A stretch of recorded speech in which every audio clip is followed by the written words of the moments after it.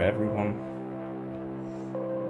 So, I've decided on making the, the ultimate controller design.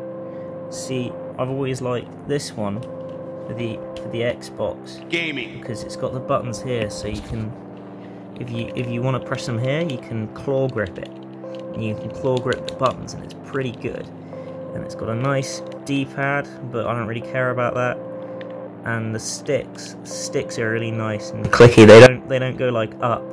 They go in and that's nice and you can click them and that's good and I like that. And the PS4 controller is pretty good too because it's got this touchpad and the touchpad is nice and that's I like it. I like it okay? It's just convenient you can put lots of stuff on it and you can use this with Steam and you can use this one with Steam too and that is good and epic and cool and I like that. It's good in Mario and I like it and then the, one of my favorites is this GameCube one and it's pretty good because it's got these little notches here. So you can like when you move around you know you can like hit sweet spots. So if you want to go exactly straight or exactly diagonal it's really good for fighting games and stuff and it fits your hand really nice.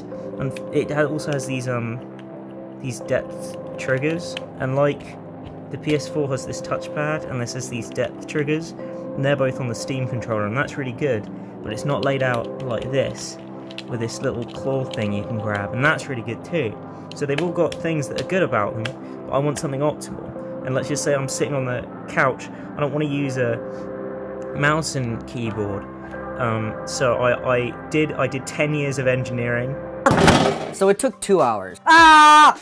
Ah! and I, I've become the ultimate engineer.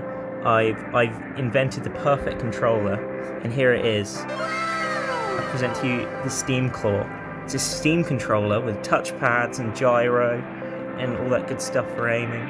But you can claw grip it, see, and use it, and it's it's optimal. It's even got a nice little octagonal gate, like the GameCube controller. It's got sticky, you can click here if you want the clicky stick. It's got all your buttons here. There's a few stuff I'd like on it, like back buttons and stuff. I'd also like for it to plug in and actually work, because um, it doesn't work right now. I've even built a grip out of an old little plastic tube here, so you can you can you can aim, you can shoot, you can click, you can click on baddies. It's actually from here that this side with the Joy-Con not so much, but this side's actually really comfortable, like unironically.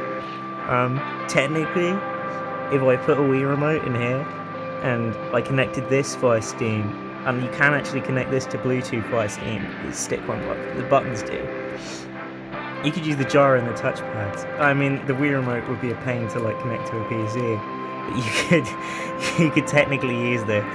And I'd love to like actually go into it and make a demonstration, but I'm I'm lazy, and this is this is as funny as I get.